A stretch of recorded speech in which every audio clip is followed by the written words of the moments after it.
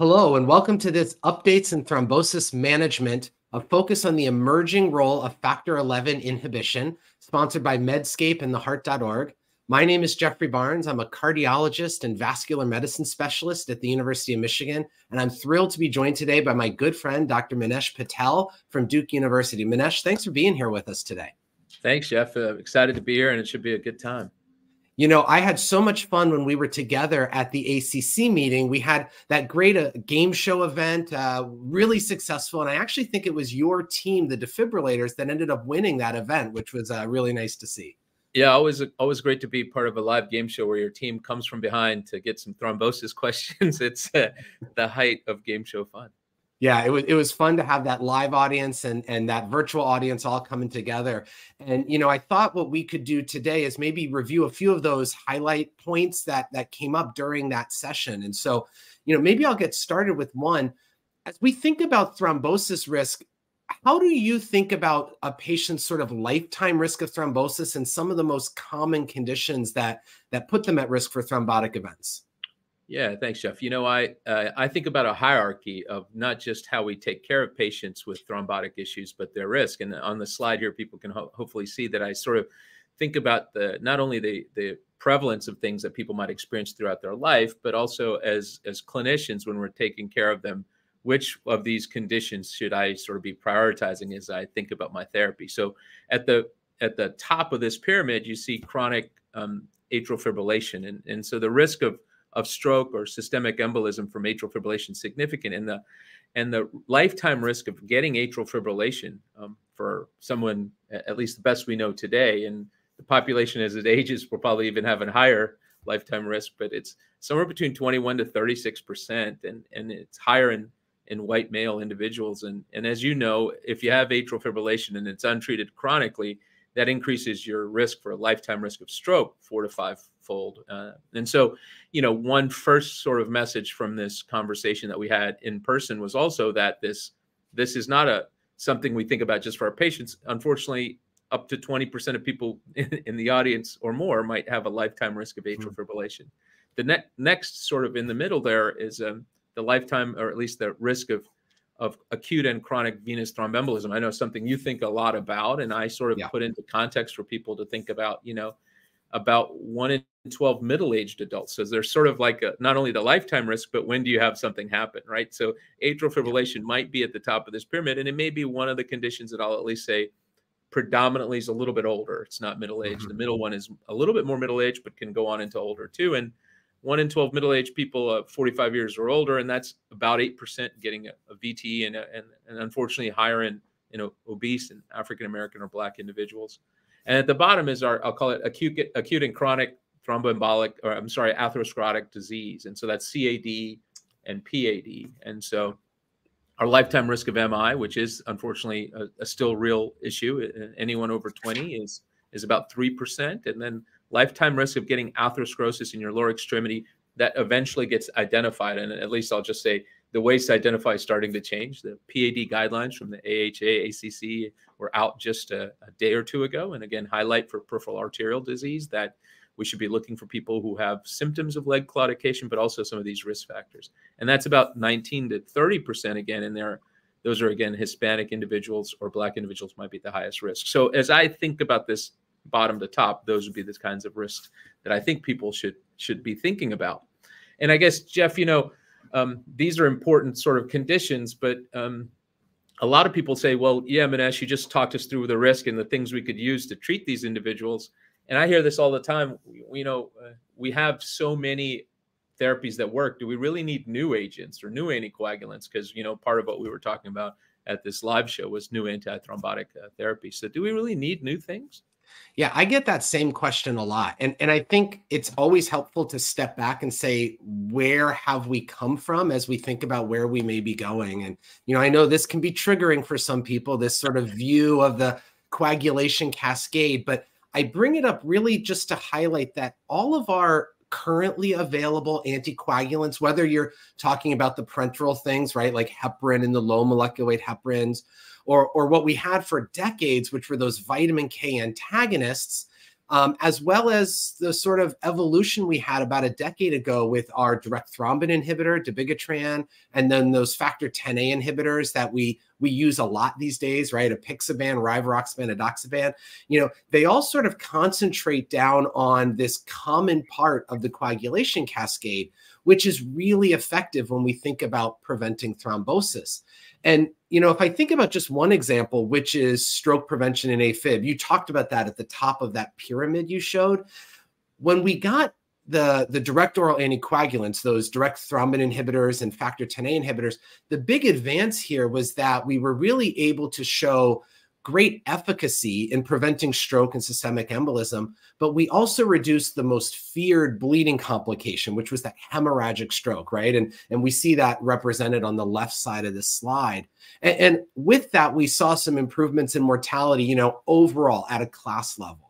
But I think the sort of the unmet need piece or the, the, the opportunity to sort of continue to evolve really is on the right hand side where we still see problems with extracranial bleeding. You know, I think about my patients who have those significant GI bleeds. I think about my patients who have those very clinically relevant or what sometimes are called, you know, nuisance bleeds like nose bleeds. Um, certainly we see them in the, the GU tract, you know, hematuria and other things like that. And so if there's an opportunity for us to continue to find efficacy at preventing thrombosis, but further reduce that risk of bleeding, then we can really open these therapies up for even more patients and, make them safer. So that's where I think there's a, a real opportunity.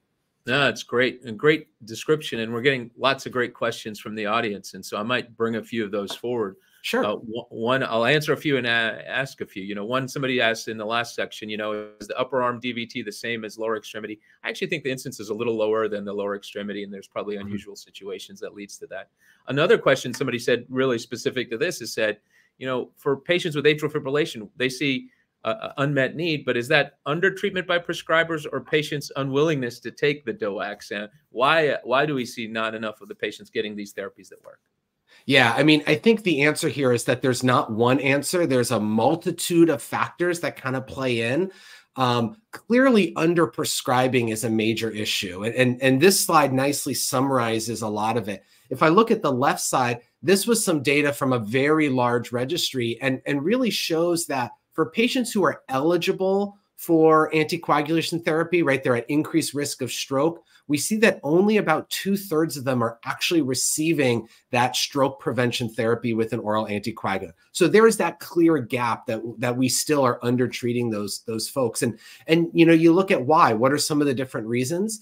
Uh, when when you do chart reviews, when you dig into it, sometimes the patient refuses, right, and they have a right to do that. But sometimes they may not know fully about the risks and benefits. Other times, clinicians might say, gosh, that AFib burden's so low, or um, hey, I've successfully treated their AFib, they don't need it. And I think that, you know, there's still some controversy as to whether that's really the case. But a lot of times we as clinicians are the barrier, right? We we perceive somebody to be at risk of fall or risk of bleed, and we say, well, I'm not going to uh, give that person a medication that I'm worried about the harm piece but maybe I'm also not fully considering what the benefit is there. And, and, and that's that's really critical. But it's not just us. I mean, patients also will stop their anticoagulants. You know, if you go to the far right of the screen, when they surveyed about 3,000 or more patients, many of them considered either pausing or stopping their anticoagulant, especially if they experienced some sort of bleeding or bruising.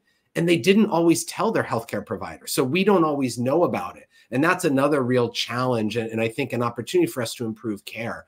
And, and if you ask patients, especially those who are not being treated, many of them, more than half, will say, Yeah, I'm willing to consider an anticoagulant once I learn about the, the risks of thrombosis and some of the safety concerns around bleeding and, and really try and make that best decision for myself. So, so I think there's a lot of room for us to improve here. For sure. Yeah. So I want to ask you a question now. Um, as we think a little bit about the physiology, help me understand a little bit about what happens when people develop clots and, and are all clots the same or are there different types of clots that you think about? Yeah, you know, I'll I'll keep it simple because I think it's hard for us to go through the coagulation cascade again. But I think on this slide, people will think about, you know, I often say you know, people talk about good clots and bad clots, and so I, I will use the terms that we learned in medical school, or there's a there's hemostasis, clotting to prevent bleeding, and then there's thrombosis, clotting that can be pathologic. And so if you look on this slide, you gave us the nice sort of coagulation cascade, mm. and that usually means that when there's an interruption in the blood vessel or tissue, we have a, a tissue factor driven pathway that gets us to actually develop thrombin to stop ourselves from bleeding. That's a that's a biologic process that we've evolved over years to prevent us from having bad problems because of some sort of a cut, all kinds of things like that. If that goes out of control, there's amplification, and you can see downstream that can then lead to an actual thrombosis, and that can be pathologic thrombosis. So, in, in trying to keep it pretty simple, I usually just tell people, you know, there there is a hemostasis and thrombosis, and that delicate balance when it goes out of, uh, I'll say, out of whack is when we get to those kinds of issues. And I guess, you know, thinking about this, as you see on the slide, there's a 10A inhibitor or DOACs or th direct thrombin inhibitors or actual 10A inhibitors. You can see that when they inhibit 10A there, they prevent that that that actual thrombosis that that can also lead to that thrombosis downstream, but can lead to bleeding. And so that balance, of course, is something we're always balancing. And it's with these great agents, some people would say, do we really need new? How are these emerging factor 11 inhibitors different from DOACs? And maybe I'll put that back to you, Jeff, to say, how does that work? Yeah, I, I think there's a couple key things, and I'm just going to hit a few of them. First is that there's real differences in the structures, right? Some of them are small molecules, some of them are antisense oligonucleotides, others are monoclonal antibodies. Um, some are oral, but some are IV and sub Q, which means we may take some of them once or twice a day, but others may only be treated once a week or once a month. And interestingly, most of the ones being tested right now have little to no renal uh, elimination. So I think there's going to be some real differences that we see compared to to our current agents. And so as we think about that, uh, Manesh, like what are you really hoping? Like what are we thinking we can achieve by doing this factor 11 or 11A inhibition? Yeah. So if we go back to this slide that we were showing before, you know, as you can see on this slide, the hope is that if you move just a little downstream between this hemostasis and thrombosis, again, this is hypothetical, our hope of what we'll do physiologically is that you'll still allow there to be some thrombin generated to stop bleeding, but that the factor 11 or 11A inhibitors actually can potentially inhibit that contact initiated pathway of thrombin amplification so that you don't get the downstream big thrombus that leads to issues. So the the idea is that you would uncouple potentially hmm. hemostasis, a little bit of clot that's got a bad clot that might lead to those clinical events. Uh, simplifying it, but that's the hope. So, so I think hypothetically that sounds really nice, right? Is there actual data to support that this may be a reality? Yeah, so you know there is, and these are this is a, a whole set of, of phase two studies mm. with factor 11 and 11A inhibition, uh, many of which are published. Uh, the one on the far right, Azalea, has been presented at the American Heart Association. Hopefully, it'll be published soon. But I think these are really reassuring. And uh, uh, there's different molecules, different agents here, but I'll just briefly spend a moment on them. So the studies on the left are axiomatic, and then the ANT-005 TKA studies. Um, that's milvexian, which is a, a small molecule factor uh, 11 inhibitor, and that and that small molecule has shown again some reduction at similar rates of bleeding with no real dose relationship. And, and you could find some doses that bled less than enoxaparin mm-hmm. and then some less clot than enoxaparin in the TKR study. So that's really valuable.